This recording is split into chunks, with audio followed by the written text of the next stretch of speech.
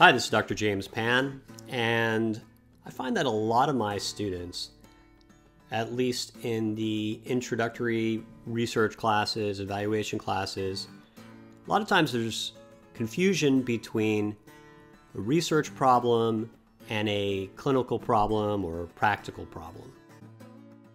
What I see a lot of times is that the real problem is not students in their dissertations, in their uh, studies, their papers, not distinguishing clearly between a research problem, what the research problem is, and what the clinical problem is.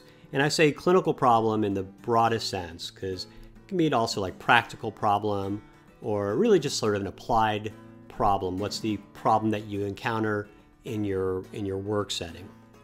So it's not to say that your clinical problem doesn't inform your research problem. In fact, it does, oftentimes very much, but they're not the same thing. So a, a clinical problem is some kind of like practical issue.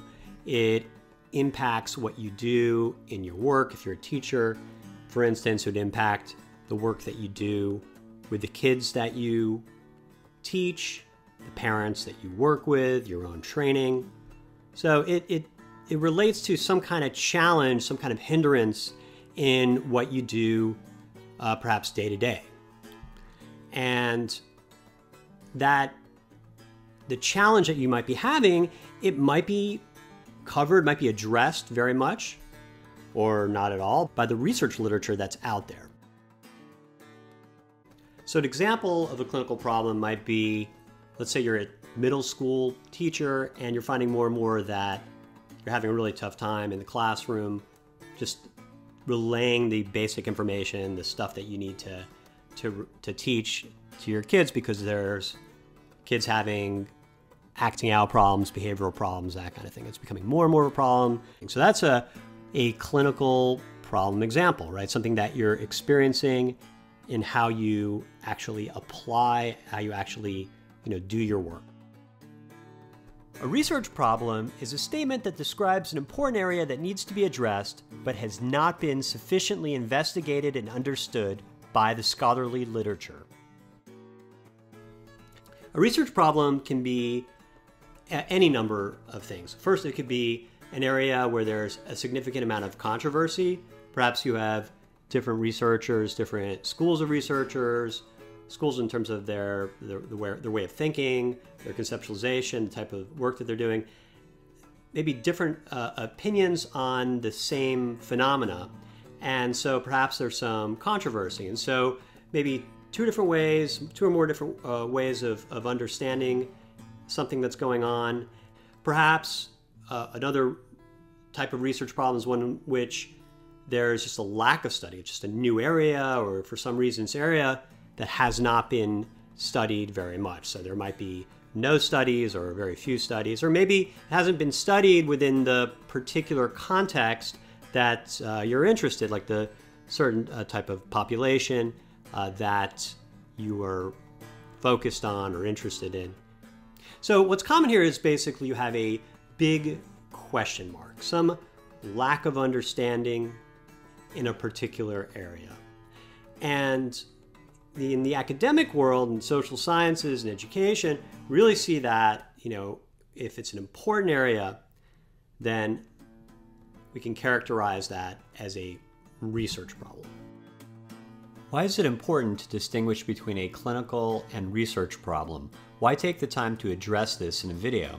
That's because you can have a clinical problem that is not a research problem, and because it is not a research problem, doing a study about that clinical problem would probably not be warranted.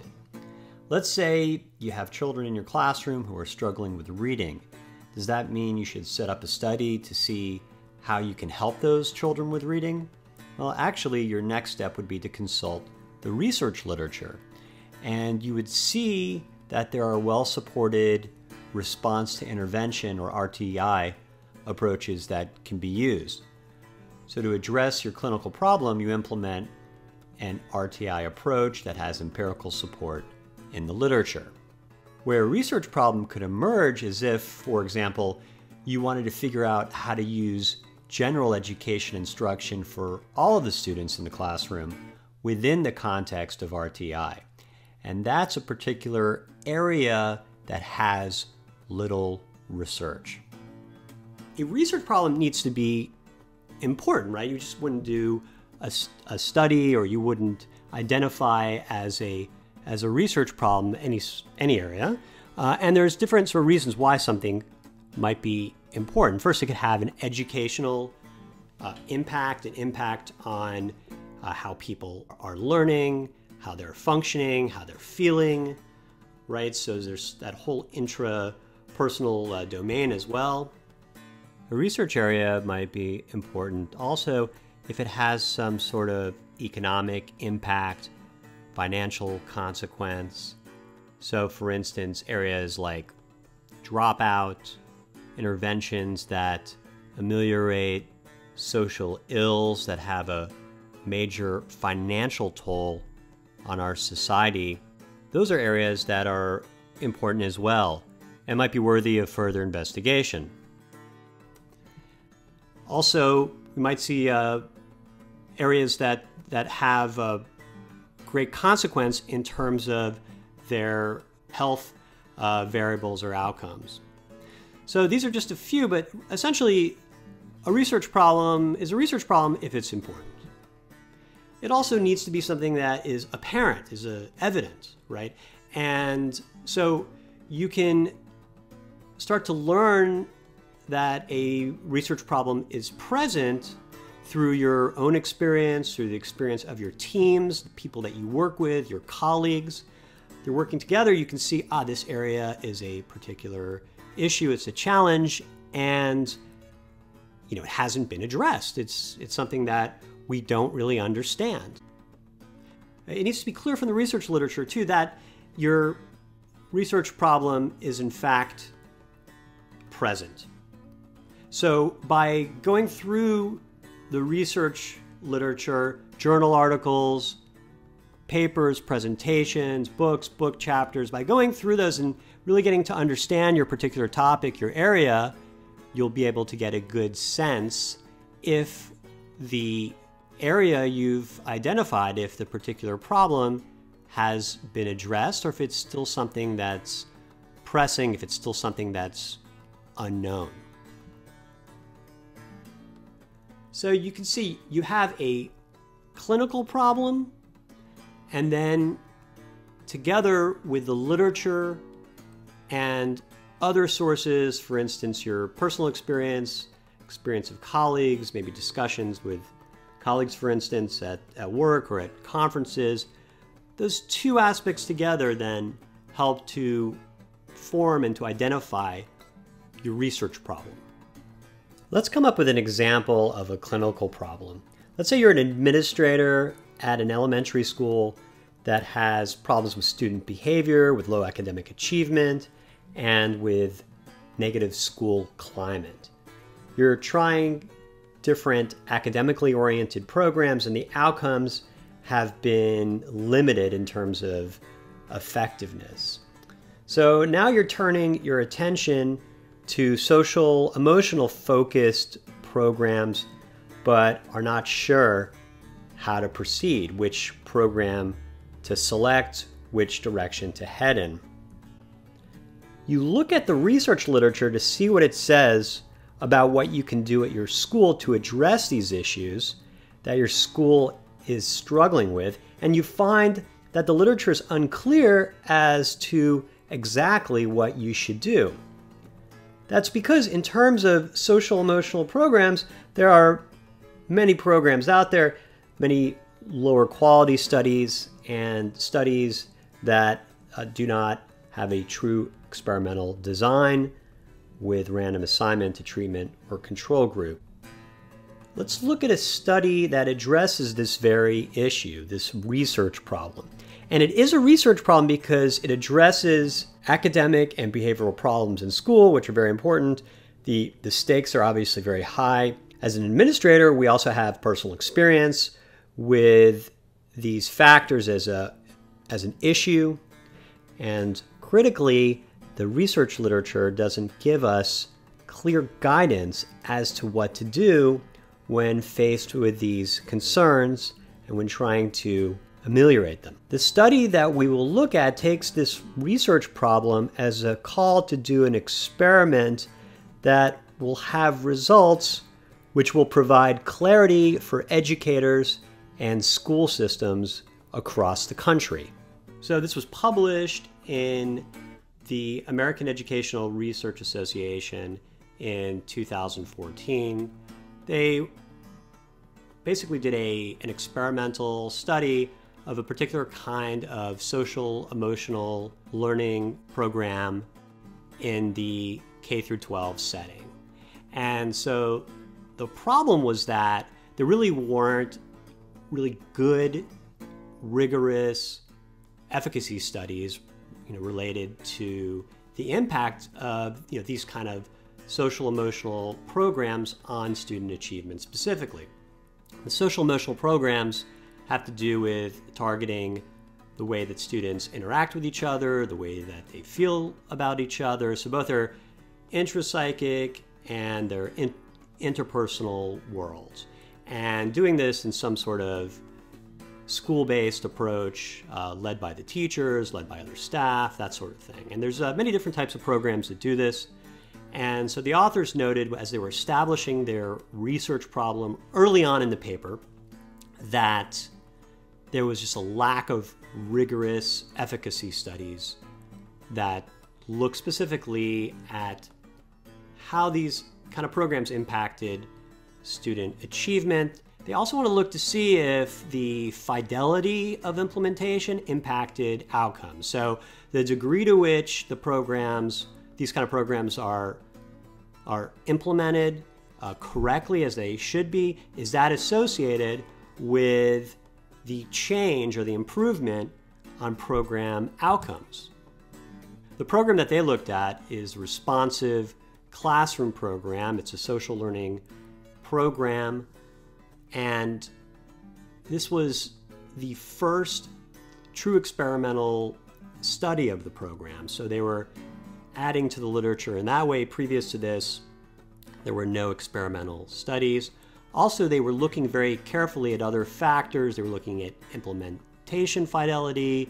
They were looking at things like poverty and where the students started out in terms of their achievement uh, to see how that played uh, into the effectiveness of the interventions.